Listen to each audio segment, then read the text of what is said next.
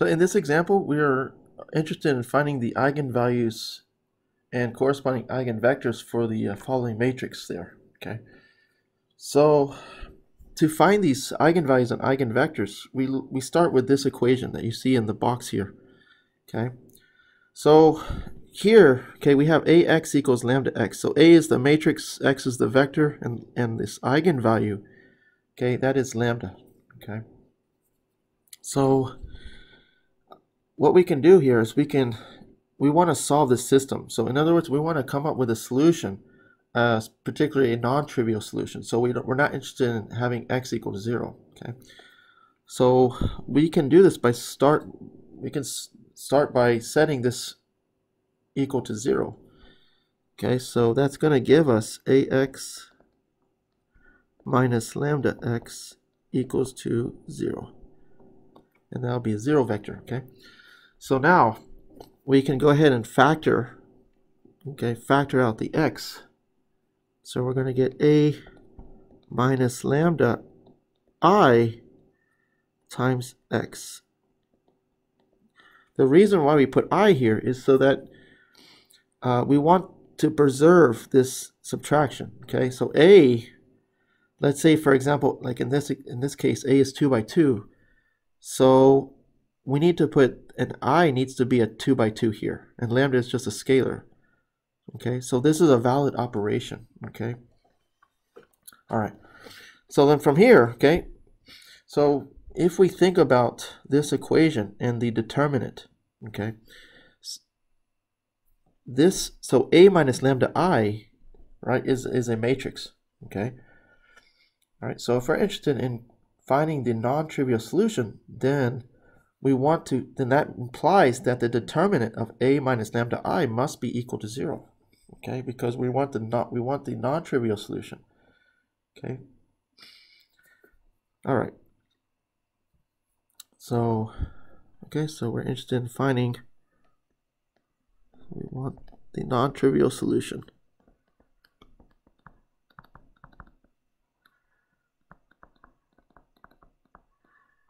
Okay, so that means, okay, that, okay, so we don't want x, we don't, we're not interested in x equals zero, okay? So that means if that's the case, okay, so remember, going back to the earlier theorems, the earlier concepts that we talked about. So if, so we basically have a homogeneous system here, okay? So recall that if the only solution is zero, okay, that means the determinant of a minus lambda i must be must not be zero okay? All right. So in other words we want in order to satisfy this to get the non-trivial solution we want the determinant of a minus lambda i to be equal to zero okay? And so that gives us an infinite uh, that will give us infinite solutions okay? All right. Okay so then so we want so this implies actually that the determinant, okay, so we know x equals 0 is a solution, okay, but we're interested in the others, okay, other solutions besides the 0 vector. So that's why we need this requirement. Okay, so this is going to be the uh, foundation of how we're going to find the eigenvalues and, and corresponding eigenvectors, okay. So we're going to start with this, okay.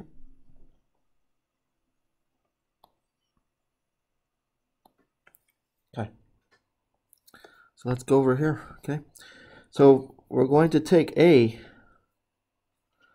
and so we're going to have A minus lambda times I, okay? So A minus lambda and since A is 2 by 2, then we need a, the identity matrix needs to be 2 by 2. So this is going to be 1652 minus, and we need the lambda there, So 1001. Okay. So this is going to give us, okay, 1 minus lambda. And then we have uh, 6, 5, and then 2 minus lambda. Okay. all right So now let's go ahead and find the determinant, okay?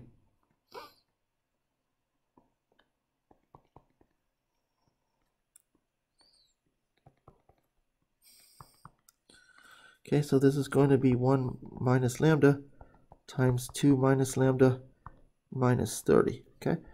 And so going back to our equation, right, we want to find, we want to solve for lambda that makes this 0, okay? So we're going to set this equal to 0, okay? All right, so we're going to get uh, 2. Okay, so we end up getting 2 minus 3 lambda plus lambda squared, okay, minus 30. Okay, so this basically is going to give us lambda squared minus 3 lambda minus 28. Okay, so now we can solve this. Okay, this is factorable. So we get lambda minus 7 times lambda plus 4. Okay. All right, so this gives us, okay, so this is going to give us lambda equals to 7 and lambda equals to negative 4. So those are our eigenvalues, okay? So now we can use these to find the corresponding eigenvectors, okay? All right. Okay, so these are our eigenvalues, okay?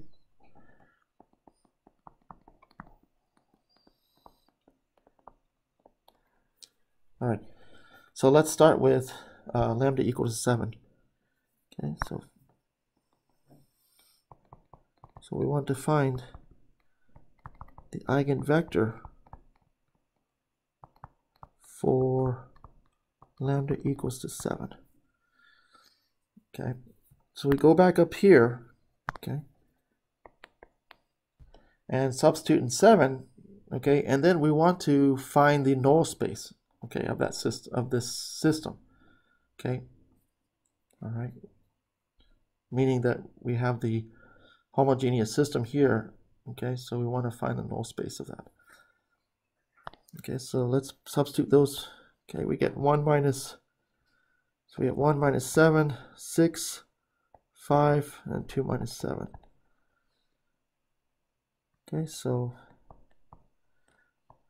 this is going to give us negative 6, 6, 5, and 5, uh, negative 5. Okay. All right, so there's our, we have a, we have our homogeneous system, okay? All right. So now we're going to find, okay, the null space. Okay, so we need to find the null space.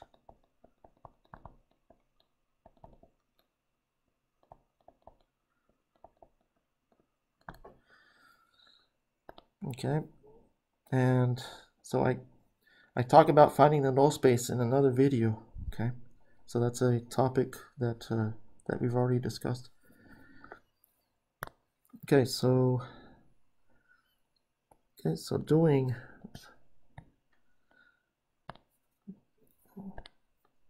Okay, so we're going to do a REF on this.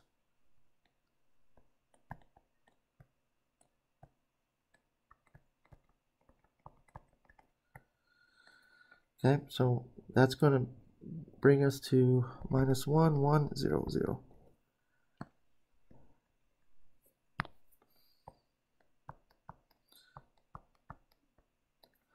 Okay, then from here, uh, we can go ahead and solve this. So we're going to let, so let's say x1 and x2 are variables. Okay, so we have x2 is going to be, we're going to let x2 be a variable t, where t is some real number. So that means x1 has to be equal to t. So therefore, this is going to give us t Okay, and then 1, 1. Okay, so again, this is coming from, right, we for x1 we had t, for x2 we had t, so this can be written in parametric form. Okay. So this value here, okay, that vector, okay, is is the eigenvector for lambda equal to 7.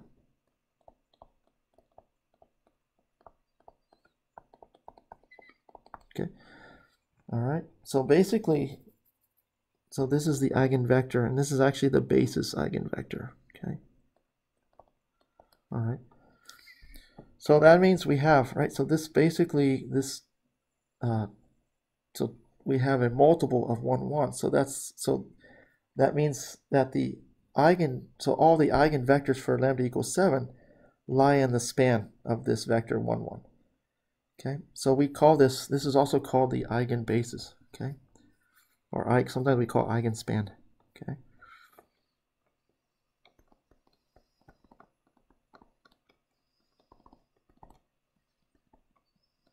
Okay. In some books they use eigenspan, some books they use uh, eigenbasis. Okay.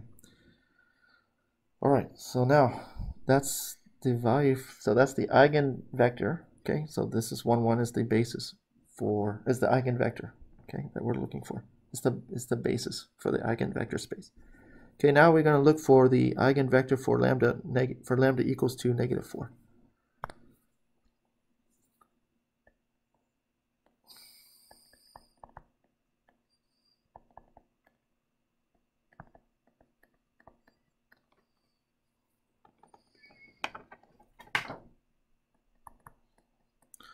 For lambda equals to negative 4.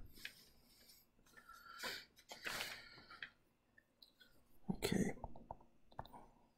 All right, so so again, okay, we're going to substitute negative 4 back into uh, up into this matrix. Okay, so we're going to get 1 minus so we get 1 minus negative 4 Okay. And then we have, let's see, 6, 5, and then 2 minus negative 4. Alright, so this is going to, and we want to, okay, so we want to solve for the corresponding homogeneous system. Okay, so this is going to give us 5, 6, 5, and then 6. Okay. So doing the REF on this, okay, we're going to get 1, 1, 0, 0. Okay. So now, okay, we're going to let x2, okay, so we have one uh, one free variable, right? So we're going to have we're going to let x2 be equal to t again, where t is a real value, and x1 is going to be in this case equal to minus x2, which is minus t. So that means for our solution, okay. So our solution is this form. So we have x1, x2 so that means we're going to get minus t and then t. Okay. And this can be written as t times uh, minus 1, 1. Okay. So again, this is so right. This is the eigenvector for or corresponding to lambda equals to negative 4. Okay.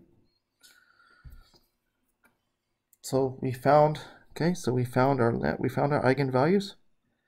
For 7, it was the eigen corresponding eigenvector was 1, 1. And for eigenvalue of negative 4, the corresponding eigenvector was minus 1, 1. Okay. All right.